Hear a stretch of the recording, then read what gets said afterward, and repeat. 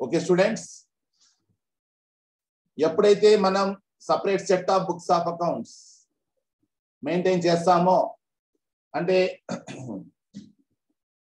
మనం మెయింటైన్ చేసేటివి separate set of books maintain చేసినప్పుడు జాయింట్ బ్యాంక్ అకౌంట్ ఓపెన్ చేస్తాము జాయింట్ వెంచర్ అకౌంట్ ఓపెన్ చేస్తాము తర్వాత కో వెంచరర్ అకౌంట్స్ ఓపెన్ చేస్తాము. ఇది. సో నంబర్ వన్ ఎంట్రీ ఏమంటే contribution of coventurers contribution of coventurers ప్రతి భాగస్థుడు డబ్బు ఇచ్చినప్పుడు డబ్బు వస్తుంది కాబట్టి వచ్చినప్పుడు డబ్బు ఎవరికి ఇస్తాం? జాయింట్ బ్యాంక్ అకౌంట్లో వేస్తాం. అంటే బ్యాంక్ తీసుకుంటుంది. బ్యాంక్ అకౌంట్ డెబిట్ చేసి ఇచ్చిన వాళ్ళ ఖాతాలు క్రెడిట్ చేస్తాము. అది point. Next goods or any either item contributed by co venturer or expenses paid by him సహభాగస్తులు సరుకులు తెచ్చినా లేదా ఖర్చులు పెట్టుకున్నా వాటిని జాయింట్ వెంచర్కు ట్రాన్స్ఫర్ చేస్తాము. అంటే పిఎన్ఎల్ అకౌంట్ లాగా అన్నమాట. లేదా కన్జైన్మెంట్ అకౌంట్ లాగా. కన్జైన్మెంట్ అకౌంట్ డెబిట్ కన్జైని అని ఎట్లా రాస్తామో ఇక్కడ joint venture account debit co venturer వాళ్ళ పేర్లతో రాస్తాము. ఇంద్ర రాజేష్ సోహెల్ విషయంలో ఇంద్ర సరుకు తెచ్చాడు. ఓకే. సోహెల్ డబ్బు తెచ్చా ఖర్చు పెట్టుకున్నాడు. అప్పుడు జాయింట్ వెంచర్ కోసం పెట్టినాడు కాబట్టి జాయింట్ వెంచర్ అకౌంట్ డెబిట్ వాళ్ళ పర్సనల్ ఖాతాలు క్రెడిట్ చేస్తాము. That's all next for purchase of goods for cash నగదుకు సరుకు తెస్తే joint venture account debit joint bank account. Bank ద్వారానే తీస్తాం కాబట్టి చెక్ ఇస్తే ఎవరు మనం ఎవరి నుంచి అయితే సరుకులు తెచ్చామో వాళ్ళకు మనం జాయింట్ బ్యాంక్ అకౌంట్ చెక్ ఇస్తాము బ్యాంకు డబ్బులు ఇస్తుంది అనమాట వాళ్ళకు. మనం ఎవరి నుంచి తెచ్చామో వాళ్ళకు. అట్లా జాయింట్ వెంచర్ కోసం సరుకులు తెచ్చినప్పుడు జాయింట్ వెంచర్ అకౌంట్ డెబిట్ చేస్తాము. జాయింట్ బ్యాంక్ అకౌంట్ క్రెడిట్ చేస్తాము. అట్లా. For purchase of goods on credit. ఇక్కడ సప్లయర్ని క్రెడిట్ చేస్తాము. జాయింట్ వెంచర్ కోసం సరుకు తెస్తాం కాబట్టి జాయింట్ వెంచర్ అకౌంట్ డెబిట్ చేసి సప్లయర్స్ ఎవరైతే ఇచ్చారో వాళ్ళ ఖాతా క్రెడిట్ చేస్తాము. జాయింట్ వెంచర్ కోసం ఖర్చు పెడితే అది డబ్బు బ్యాంకు ద్వారా ఇస్తే joint venture account debit joint bank account అని రాస్తాం.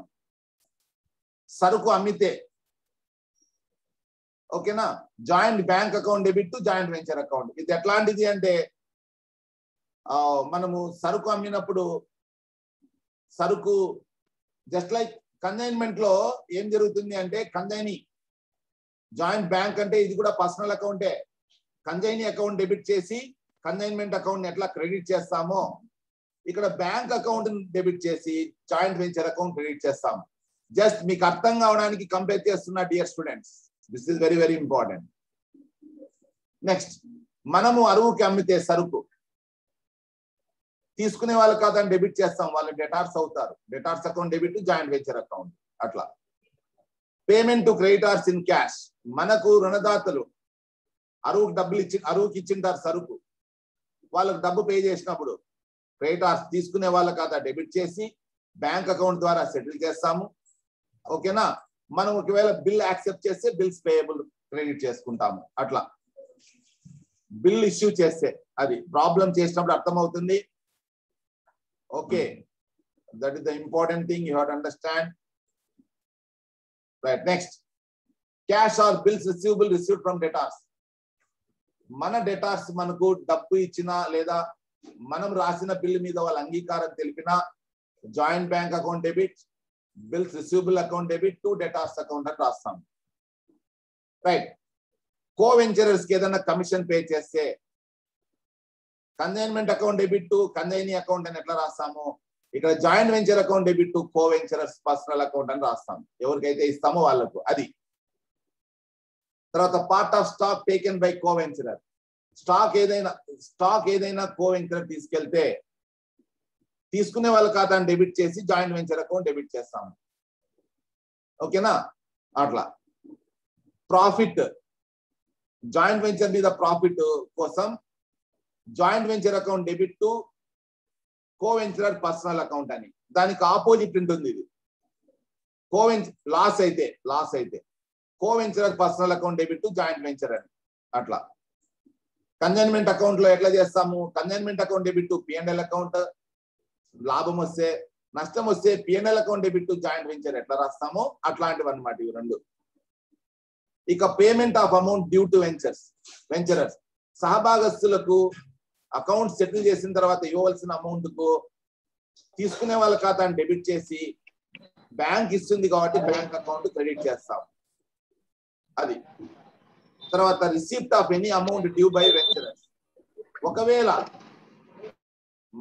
వెంచరర్సే బాకీ ఉంటే బ్యాంక్ తీసుకుంటుంది కాబట్టి joint bank account debit to co venturers personal account. వాళ్ళు ఇస్తారు కాబట్టి. ఈ రకంగా ఎంట్రీస్ రాస్తాము. ఓకేనా? నోట్ ఏమంటే discount received should be debited to creditors account. Discount received discount receive చేసుకుంటే ఎవరు యోగీశ్వర్ అగైన్ డిస్టర్బింగ్ లాక్ చేస్తున్నాను ఓకే ఓకే రైట్ నాన్న so discount receive should be debited to creditors account discount receive చేసుకుంటే discount receive చేసుకుంటే అంటే మనకు ఆదాయం వస్తే ఓకేనా that should be debited to creditors account మనం ఎవరికైతే ఇస్తామో వాళ్ళ ఖాతాను డెబిట్ చేస్తాము. And credited to joint venture account credited to joint venture account అంటే జాయింట్ వెంచర్కు అది ఆదాయ ఆదాయం అవుతుంది అనమాట మనము డిస్కౌంట్ రిసీవ్ చేసుకుంటే. అదే డిస్కౌంట్ అలౌడ్ మనం డిస్కౌంట్ అలో చేస్తే అది మనకు నష్టం అవుతుంది కాబట్టి జాయింట్ వెంచర్ అకౌంట్ డెబిట్ చేస్తాం. అదే డెటార్స్ అకౌంట్ను క్రెడిట్ చేస్తాం. ఇది పిఎన్ఎల్ అకౌంట్లో అనమాట PNL account debit to discount allowed account అదే discount received account debit to PNL account అని ఎట్లా రాస్తామో అట్లా. ఇది ఎంట్రీస్ ఇది స్టూడెంట్స్ రేపు రేపు ఈ రెండు వీడియోస్ మీరు జాగ్రత్తగా చూడండి. అర్థం కాకపోతే రేపు మనం ప్రాబ్లం చేయబోతున్నాము. ఓకేనా? And this this this is collected from I mean financial accounting two. This material has been gathered from financial accounting too. Uh, okay, publishers yes Chan publishers New Delhi and the others Dr. Ranganatham Gangineni and Dr. Venkataramanaya Male Party. And thank you, sirs. Thank you, Chan publishers for giving wonderful information. Okay.